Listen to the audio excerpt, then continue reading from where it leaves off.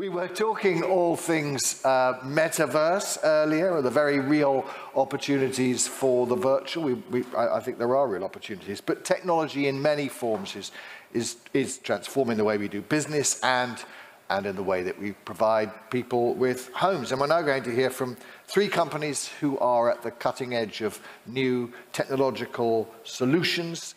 Uh, each is going to get seven minutes uh, to pitch their idea, and then, uh, and then at the end, uh, hopefully before lunch, we'll have a chance to ask uh, a few difficult questions. Um, and first up, um, how 3D visualization will accelerate your sales and marketing strategy. So this follows neatly on from what we were hearing on the metaverse earlier. Um, and to convince you that this is something that is real, uh, the virtual has a real place to, uh, real part to play. Uh, we're going to have the managing director of Matterport, um, James Morris Manuel. James, do come up. Um, to add a little bit of jeopardy to this whole thing, I'm, I'm just going to say you've got 420 seconds, no more, okay? Uh, and your pitch can start now. Fantastic. Thank you very much. It's a pleasure to be here today. So I wanted to talk a little bit about how 3D visualization will accelerate your sales and marketing strategy. Focus the presentation today very heavily on just pure data and case study and evidence that we've got of how this is working and driving businesses forward. So if we jump to the next slide, please. Or oh, do I get a clicker?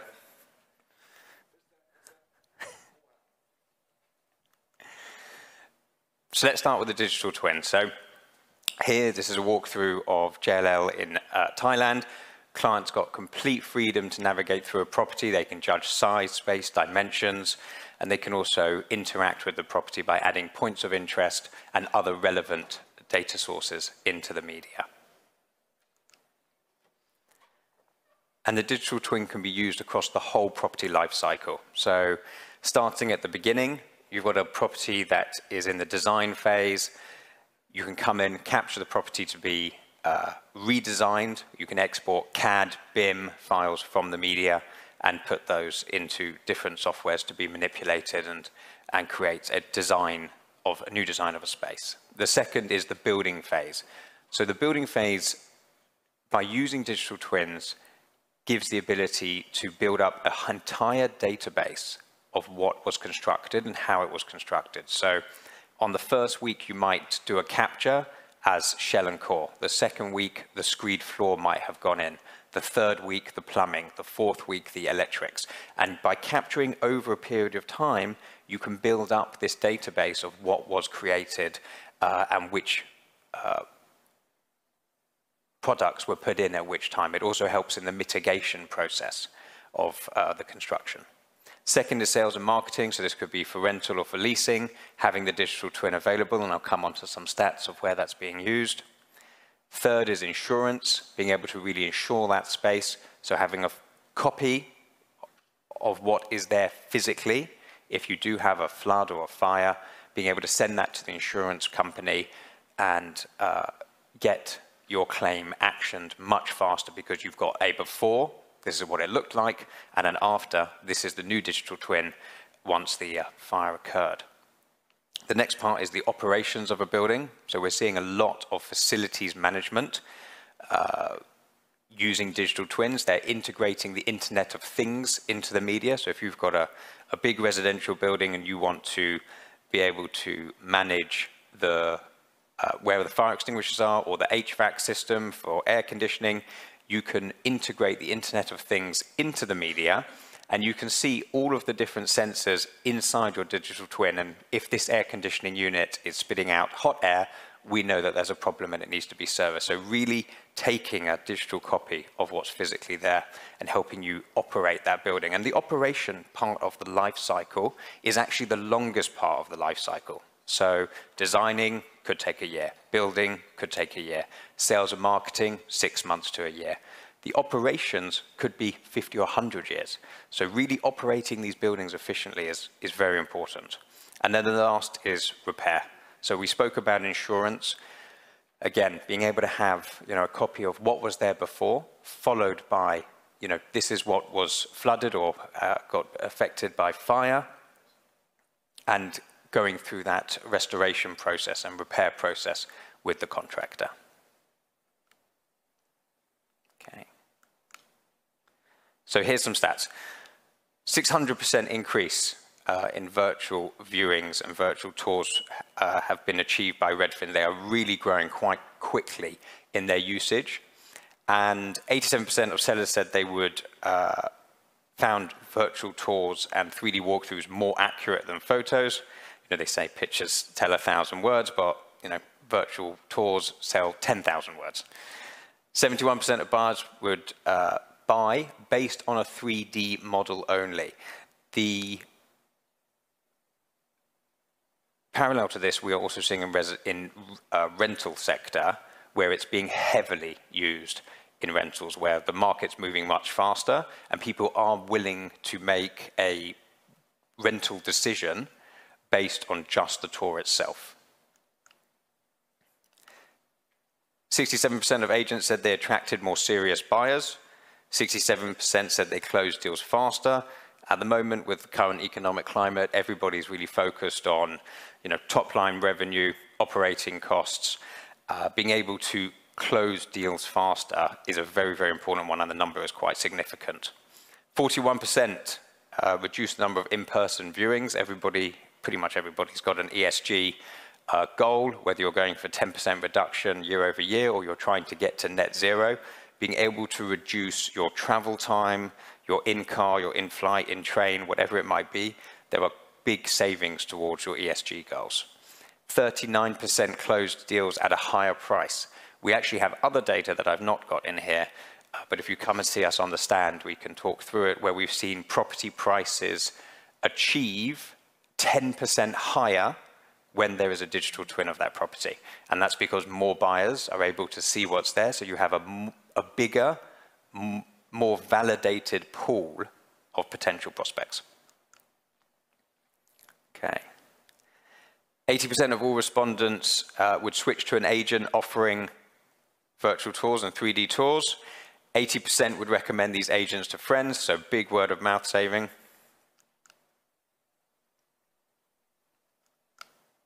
All right.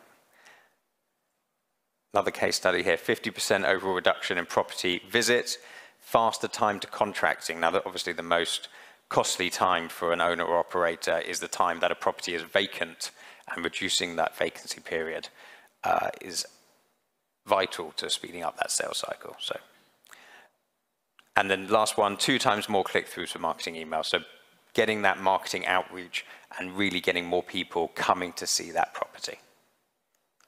And that's it. Please come and see us. We're on the stand out here. Uh, if you've got any other questions. Thank you very much indeed to James. Yeah, that's pretty good. Um, I have to say my stopwatch didn't start quite as it should have done, but I think that was pretty close to seven minutes. Very well done. So we're going to do Q&A with everybody at the end, uh, so we'll come back to that. Um, our second pitch uh, looks at how you can save time and money uh, with bespoke prop tech, uh, and to explain all in seven minutes, yes, we hand over the it's a bit like we've seen with the, with the, with the ceremonial mace, isn't it? Sort of passed over uh, to the next person. Uh, we have, for the next seven minutes, the director and founder of Appt, Anna Bollinger. Seven minutes, go. Good afternoon. As um, has just been said, my name is Anna. I'm the director of Appt. We are a bespoke web, app and software development house in the north of England, but we also have offices in southwest China, which means that if you want to attract tenants from China, whether you work with Chinese stakeholders as well, we're able to help you navigate the differences between the digital landscape in the west and China, which are very different. But today, I'm going to take you on a whistle-stop tour of the trends we're observing within the prop tech sector, and more specifically, the um, bespoke development space. So, firstly, why would somebody come to us for a bespoke app or piece of software when there are software as a service products already out there? Well, these are the three reasons that I see time and time again. Firstly, a bespoke solution is completely tailored to you and your business. Instead of you having to change the way you operate around a piece of software, our software will do exactly what you need it to do in the way that you need it to do. Secondly, it's an investment. You're not paying for somebody else's intellectual property or paying monthly user licenses. You're developing your own intellectual property. It can be classified as a capex instead of an opex, adding value to your business. And hopefully, in the event of a sale or an acquisition, that value will be passed on. And finally, the government are all about uh, encouraging people to use technology to do what they're doing more efficiently, reducing carbon emissions, that kind of thing. So there are plenty of incentives out there, R&D tax credits, um, smart innovation grants, should you want them. So the trends we're observing, if my clicker works, Unsurprisingly, post-pandemic, there has been a general acceleration in prop tech adoption. According to a recent study, 56% of executives within the commercial property sector are looking to increase the amount they're investing in prop tech. Perhaps that's you. And that's what we've seen um, across the board, but especially within the property sector. Demand for our services is increasing. Now, that said, there are always people who are quicker to adopt new technology than others. And one group which has been notoriously slow in adoption, is uh, property solicitors. But we have had the immense privilege of working with property solicitors across the country to help them think through how they can do what they're doing more efficiently, more quickly, using technology. We've built um, systems which integrate with their case management systems, um, systems which help to kind of um, bridge the gap between the brokers and the solicitors and the conveyance that they're working with, um, and ultimately improve that customer journey because buying a house, getting a mortgage, remortgaging is still one of the most stressful things you can do and there's huge potential for technology to make things easier, for an app to make things easier, for software to make things easier.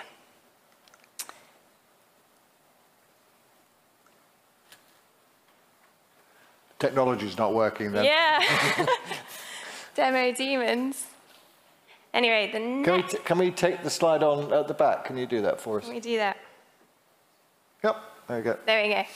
The third trend we're seeing is a demand for increased uh, joined up data systems. So people are getting fed up of having one system over here, maybe it's your HR software, their invoicing system over here, um, their property management software over here. And so they're coming to us to, to ask us to develop apps and software which helps them to provide data to the pe people who need it in the format that they need it. So we've done a lot of work um, with the shared ownership sector, helping them report back to the government on the number of deals that are taking places, um, that kind of thing. We've built um, apps for operators so that tenants can gain access to um, kind of their uh, latest agreements, also they can pay ground rent, that kind of thing. Um, and yeah, lots of things. People want joined up systems and uh, portfolio apps as well, being able to provide back to investors on um, their portfolios and what's going on. And finally, and this is the fun one, um, we've heard bits of it today, uh, we're seeing an increased demand for IoT applications, so apps which interface with real-world tech, hardware. Um, and on this front, we've been privileged to work with British Gas on helping them to get smart meter readings out of the hardware and into um, software um, which they can use to manipulate that data. Um, and security companies like Pyronics who work globally. Um, and this is really going to be even more important for ESG, capturing that data that, that you already have and being able to manipulate it and present it back in, to stakeholders in a valuable format. Um, we've also worked with property developers in uh, China who have luxury malls, um, and obviously bringing people back into the retail space is more important than ever. And we've developed um, apps which interact with hardware installations or lighting installations. You can blow on your phone to light up uh, the shop front and that kind of thing. So there is huge potential for prop tech to make what you're doing more efficient, to save you money. It's advancing at an incredible rate, as we've heard this morning, the use of VR, AR. Um, it's only going to increase. Um, and if there's anything we can do to help you on that front, we're here all afternoon. This afternoon, we're going to be exploring the future of prop tech. Where is it heading? What is the tenant of 20 years' time going to be expecting when they're walking around your properties? Um, do come join us for that conversation. Thank you.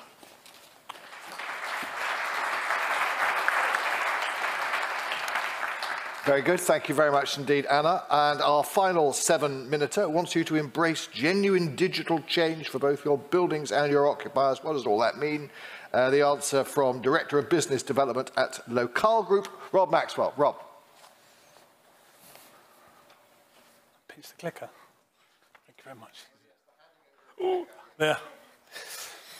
So, um, thank you for that. Um, when you think about the word tech in real estate, what comes to mind? Fancy acronyms like APIs, SLs, complex diagrams which very few understand, extra expense and time needed, time you need to hire new teams and manage them. I'm sure the list just goes on. Although I work in this sector, I'm not a big fact, fan of all the fancy acronyms either. And it seems that every meeting I go to these days, there's new ones that we're having to learn. Tech shouldn't be complicated. In fact, tech should be simple. The simpler it is, the more effective it can be. It should be simple, it should be easy to use and to deploy. Households and individuals are using tech every day.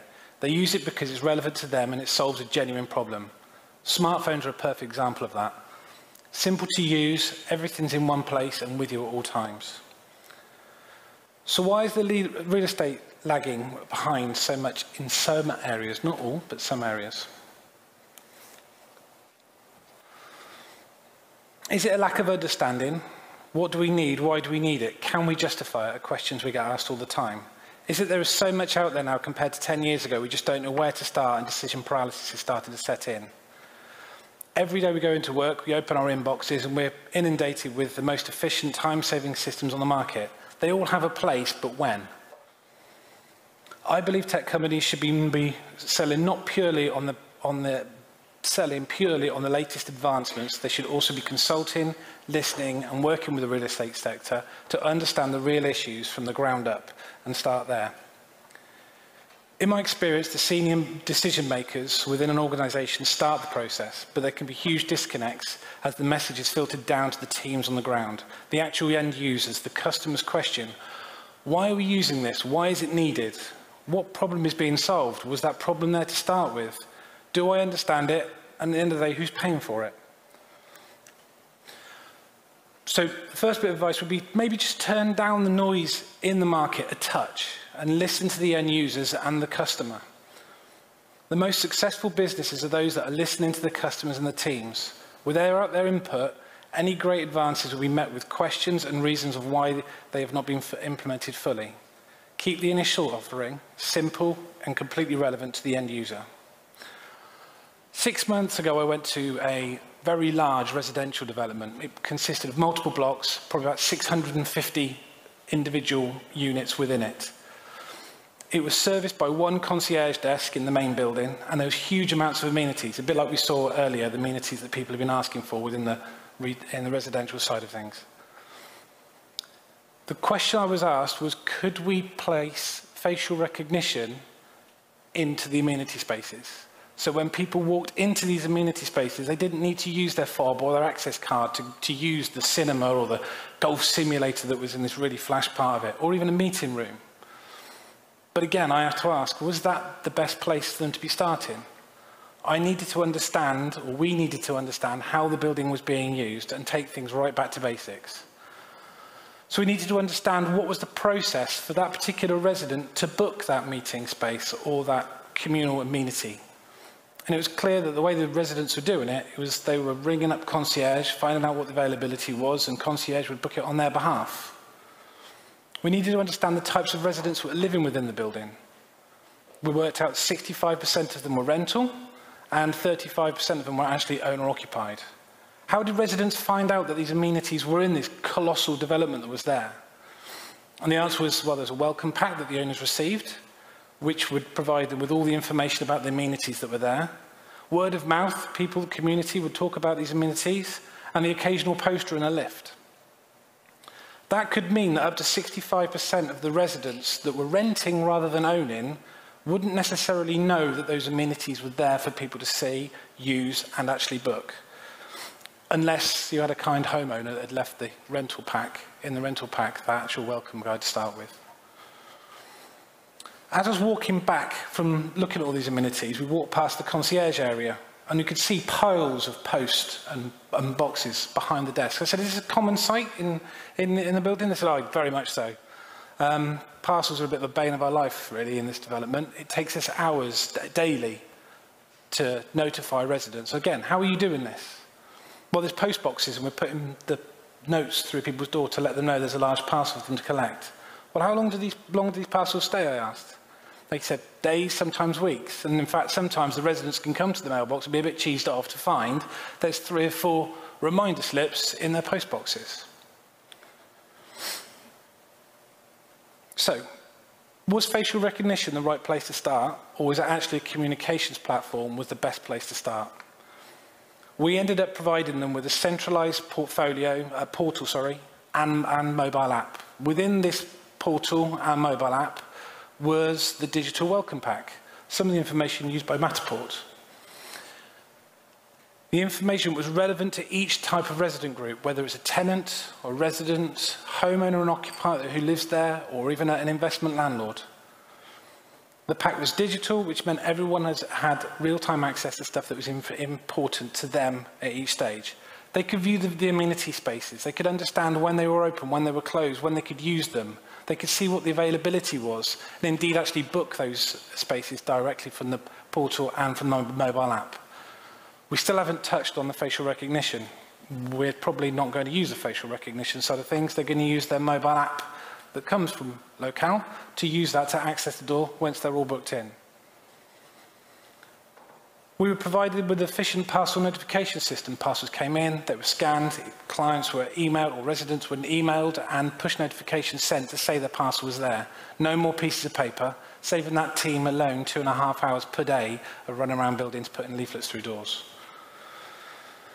We're now working on, with this development, how we can build on that. So it's about, now it's about understanding what are the residents using these spaces for and how we can future, future-proof the next step, the next chapter of this building. And also working on community engagement strategies to bring more people together. So, in summary, keep the initial concept and grow it from there. Don't try to do it yourself. Choose the right tech partner. Understand their credentials. Make sure you understand your requirements and what their requirements would be. Get them to prove the success. Don't be distracted by all the new flashy, shiny tech in the market from day one. It does have its place, but you need to make sure you get the basics right first. Focus on the delivery of the initial stages and make sure you're supported by your tech partner at each stage. Take a step back, not for too long, and start simple. We talk a lot about smart buildings in this industry, so let's make start decisions because the power of effective real estate technology can be a game changer for your business and your customers if done correctly. If anyone's got any questions after this, we'll be at this fancy mural that's been painted in the outside there, and um, I'll be there to answer any questions. But thank you very much for your time.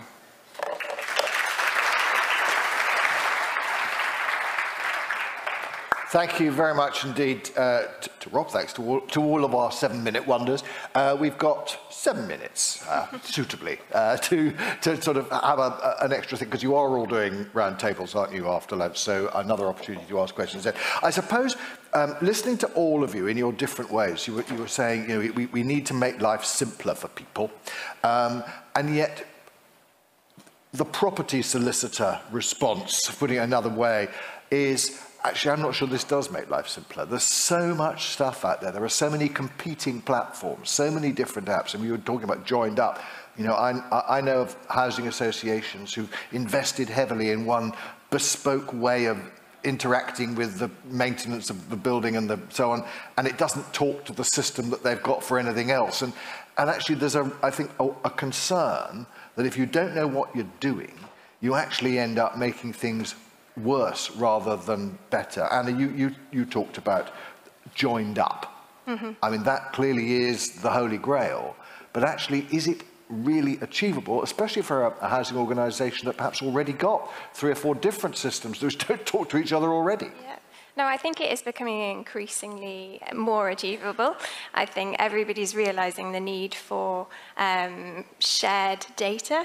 Um, and many systems have, have what are called APIs, which enable you to connect and push and pull data in and out of different systems. Um, and we have experience working with a whole variety of APIs, a whole variety of different um, systems. Um, and I think there's a push within technology, uh, as we were hearing about Web3 this morning, about things being decentralized and technology becoming more open source, I think that's the way we're all going to have to go. It'd be lovely if, if it did. But uh, I, I, uh, James, I want to talk to you about virtual twins because we did, uh, were you able to see the metaverse uh, session we had earlier?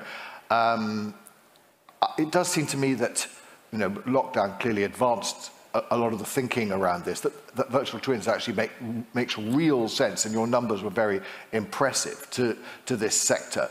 But again, for, for perhaps people who've been in the sector for a while, have quite traditional views about the way they're going to uh, liaise with their, their residents and, and, and future clients, convince them that virtual reality is not going to be one of these here today, gone tomorrow things, and actually there'll be some new technology further down than that virtual twins, I should say. Yeah. So the way I would think about the metaverse and the talk we had earlier is what is the true business value that you're going to be able to derive? And, you know, it's touched on a little bit, it can't just be a fun place to go.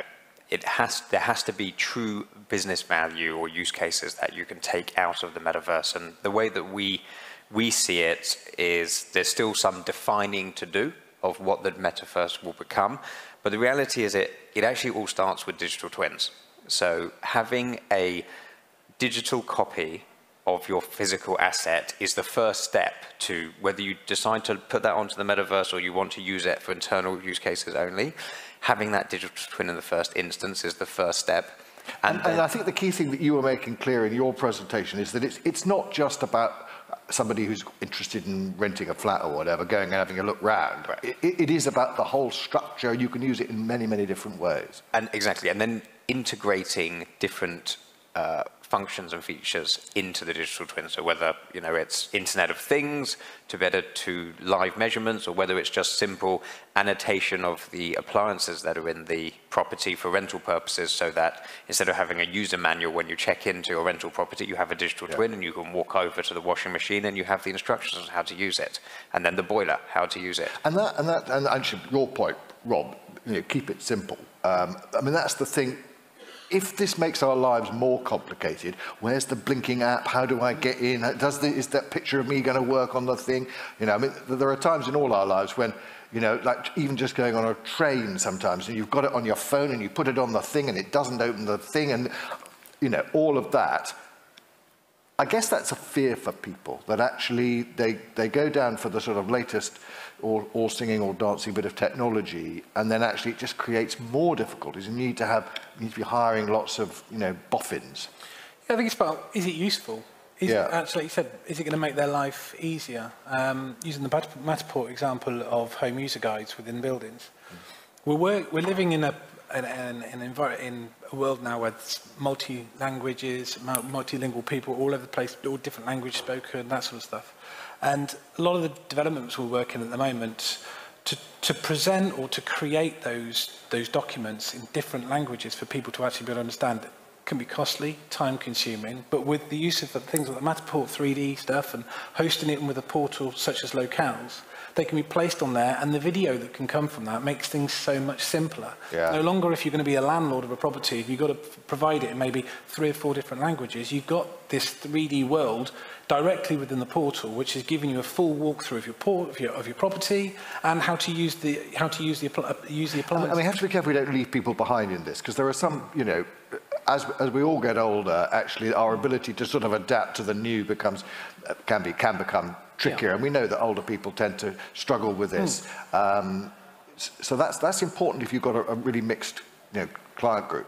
Yeah, and I think I think there's always going to be the need for that physical entity that people can yep. use. I think it'll always be that, but uh, it dates as soon as it's printed. Yeah. That's the problem with that, and that's why the, the digital side of things is so useful because you can update these things centrally in one go, rather than having to go right. There's been a new air conditioning unit put in on three or four different floors within a particular building, and then you've got to send that around to every unit within that development to let them know that. You can just do that centrally and it's, it's all changed there for you. No, I mean, listening to all three of you, it's really exciting the kind of things that are, are available, and, and your enthusiasm is, uh, is certainly uh, infectious. Um, as, as we were saying, you're all involved in roundtables. I'm sure many people will have lots of uh, questions, detailed questions, which we haven't got time for now. But for the moment, uh, James, Anna, and Rob, thank you all very much indeed. Thank you. Thank you.